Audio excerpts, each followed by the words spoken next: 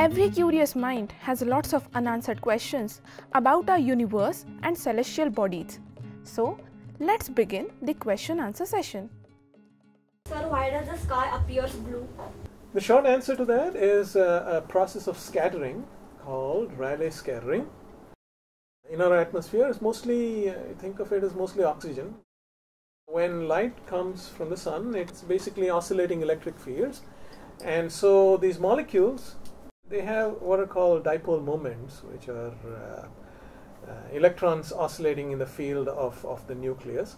So when uh, when the oscillating electric field of the light falls on it, it causes this oscillator also to vibrate, and and uh, what it does is alters the field of the light and, and it scatters it.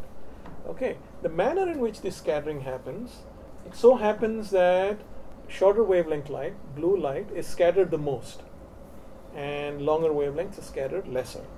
So what that also means is that blue light is when it when you say it's scattered the most, it's most prevalent. No matter where you look, it's mostly this particular light, which is blue.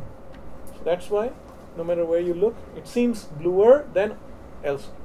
It's it's not like it's exclusively blue. If you there are, there are other colors also mixed in, but it's mostly blue. Thank you.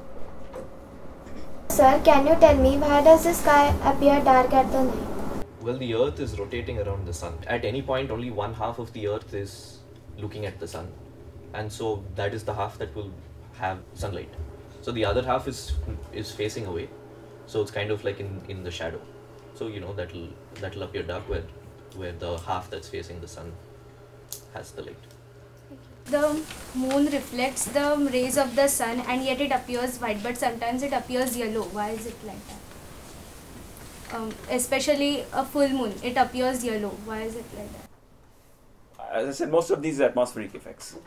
It's to do with the what light is moonlight is passing through the atmosphere than intrinsic to the moon itself